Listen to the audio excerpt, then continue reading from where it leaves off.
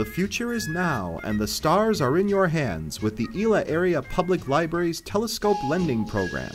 Stop by the checkout desk and borrow a telescope today. This film will give you some quick tips to maximize your telescope experience. Here is Brian with one of our beautiful Orion Starblast telescopes. Let's look it over. Our telescope has an eyepiece with cap, focus and zoom,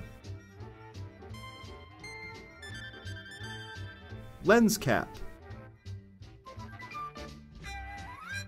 moon cap,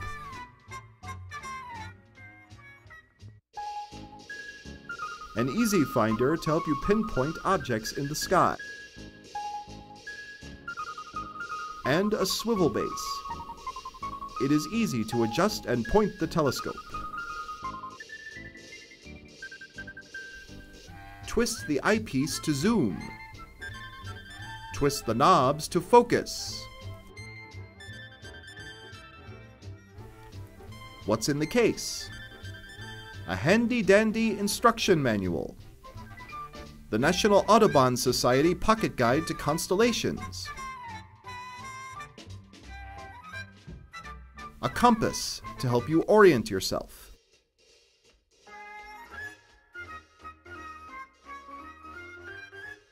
And a headlamp. Use the red light to read in the dark. The telescope weighs around 14 pounds and is designed to be carried by an adult. It is easiest and safest to carry it with your arm under the tube. You can also hold the base for additional support.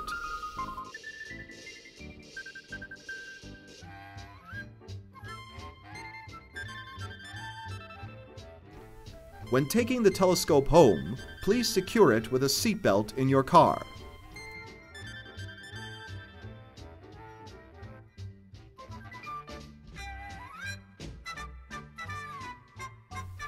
For best results when using the telescope, get away from street lights and place the telescope on a sturdy table.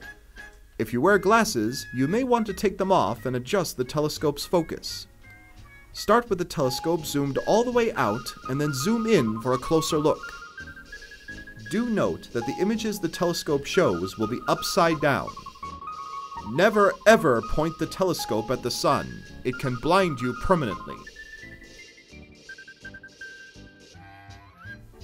Do point the telescope at the moon. Remember to use the moon cap, the stars, and the planets. The Easy Finder will help you pinpoint objects in the sky. To use the Easy Finder, turn the knob clockwise until you hear a click. Look through the Easy Finder for the red dot. When you see the red dot, that is where the telescope is pointed. The Easy Finder might need aligning.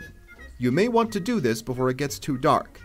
Point the Easy Finder at something in the distance, like a house or a telephone pole. Center the object in your view and look at where the red dot lands. Use the knobs on the side of the Easy Finder until the dot is in the center of what you see for maximum ease finding things in the sky. Now you are ready to go forth and view the universe. Thank you for trying the telescope and for using the library.